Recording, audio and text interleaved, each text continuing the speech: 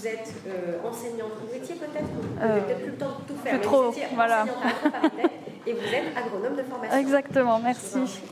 Premièrement, euh, ce qui nous intéresse, c'est de gouverner pour, euh, pour le besoin des gens, tout simplement. Et en l'occurrence ici, c'est une alimentation saine pour toutes et tous, dans un environnement sain, avec des enjeux particuliers euh, au vu des évolutions. D'abord et avant tout, je le dis, le maintien de l'agriculture familiale.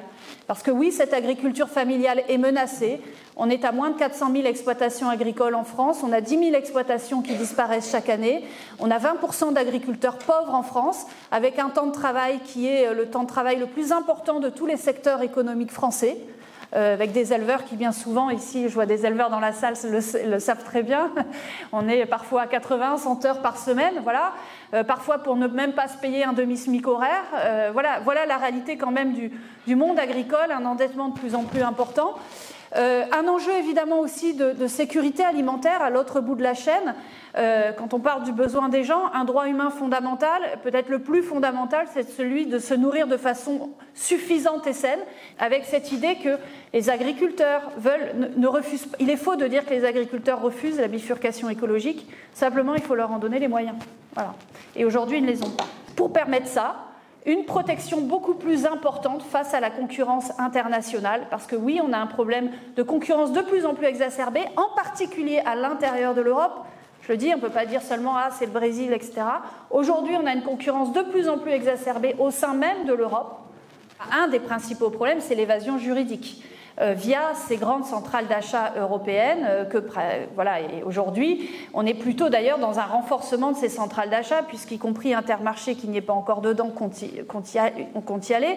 Euh, et puis effectivement, avec des autorités européennes qui nous disent ah ben c'est normal, le droit français n'a pas à s'appliquer. Évidemment, le rôle de nos députés européens comme de députés français, enfin l'Assemblée nationale, c'est de faire en sorte d'écrire des lois qui s'appliquent réellement donc évidemment, euh, d'avoir d'abord une bonne écriture de la loi et de faire en sorte que les dispositifs soient réellement appliqués dans les centrales d'achat, y compris les centrales d'achat européennes. Sinon, faire en sorte, j'ai envie de vous dire, et ça il faut y travailler, que soient sorties des centrales d'achat eh bien, toutes, euh, toutes les, négociations qui concernent des, des, matières agricoles et alimentaires concernant des, des producteurs agricoles français. Parce que la question principale, elle est là c'est comment on permet aux agriculteurs français d'être payés correctement.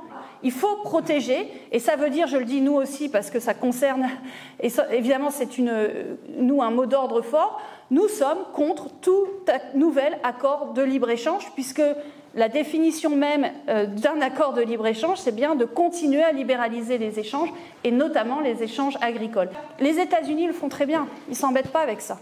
Ils ont des marchés publics et une restauration collective qui favorisent les produits locaux et de qualité.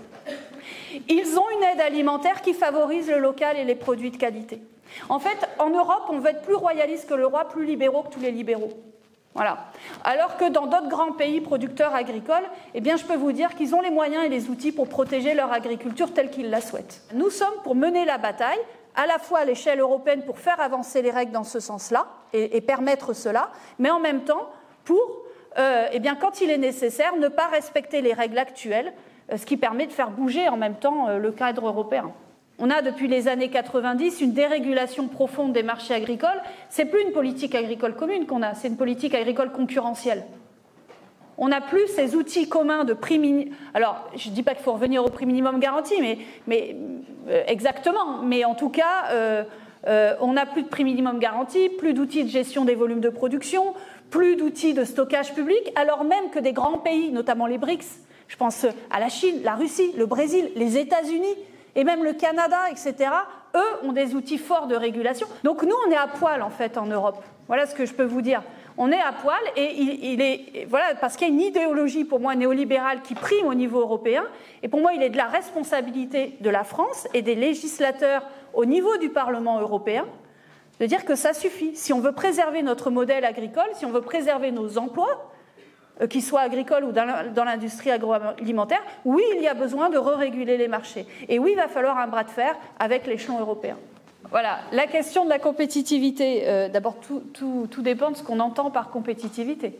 Bon, moi, j'entends la compétitivité d'abord comme préserver euh, euh, une balance commerciale, euh, en tout cas faire en sorte que nous ayons une certaine autonomie, à la fois industrielle, industrielle, en matière de services et évidemment de production agricole. Ça, c'est la première chose. Deuxièmement, le maintien des emplois. Voilà. et troisièmement, faire en sorte eh bien, de procurer des, des, produits à des prix évidemment qui soient, qui soient abordables. Ce qu'on pense dans la France insoumise, c'est un, il faut redonner du pouvoir d'achat aux Français, notamment sur le plan alimentaire. Bon, ça veut dire qu'évidemment, tout ça va avec une politique plus globale. Nous, nous sommes pour l'indexation des salaires sur l'inflation. Alors là, je vois les chefs d'entreprise se dire Ah, mais le risque inflationniste euh, d'une telle mesure. Je le dis aujourd'hui, même le Fonds monétaire international, la Banque centrale européenne le disent.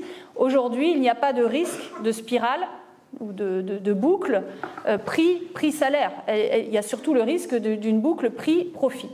Pourquoi on a intérêt à soutenir cette demande, qui est une politique keynésienne, hein, quelque part, qui est celle qui actuellement est mise en œuvre aux États-Unis par Biden hein.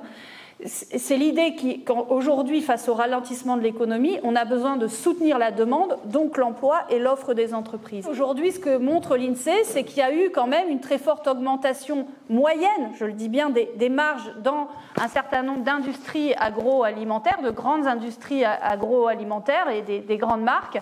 Nous, on est pour euh, pas, euh, euh, enfin, on est pour un plafonnement des surprofits ou des surmarges, ou en tout cas des incités sur l'envolée des profits, notamment enfin, au niveau de la, grande transformation et de la grande distribution. Nous, on l'assumera si, voilà, si, si, si, on est au pouvoir. Et ce n'est pas une libéralisation totale des échanges qui fera qu'on sera nécessairement plus compétitif, bien au contraire.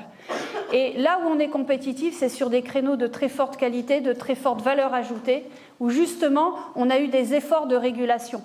Oui, alors au niveau européen, euh, évidemment, on va, porter l'idée de prix, euh, de prix planchers qui sont ni plus ni moins que des, des prix garantis minimum qui, permettaient de réguler les prix. C'est aussi ce que porte un certain nombre d'organisations agricoles euh, au niveau européen, mais ça veut dire qu'il faudra y adjoindre aussi des outils de protection aux frontières européennes supplémentaires parce que si on met, et c'est pareil au niveau français, hein, si vous rehaussez un peu les prix et que vous les stabilisez, euh, ça veut dire aussi qu'il faut protéger de la concurrence internationale.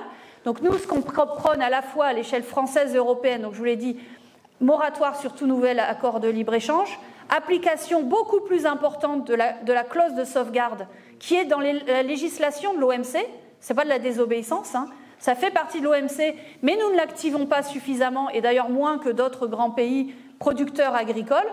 Euh, voilà, déjà, et puis je vous l'ai dit, préférence des produits locaux pour la demande pour la Restoco et, l'aide alimentaire, ce qui déjà sera euh, assez, euh, assez fort. Si on veut que les agriculteurs opèrent la bifurcation écologique, il faut d'abord qu'ils aient des revenus décents, mais surtout stabilisés. Et moi, je reprendrai juste pour finir les mots d'Edgar Pisani, qui était le grand ministre euh, qui a fait les grandes lois productivistes des années 60, qui 50 ans après dit le monde a, le monde a changé, il faut changer de politique agricole.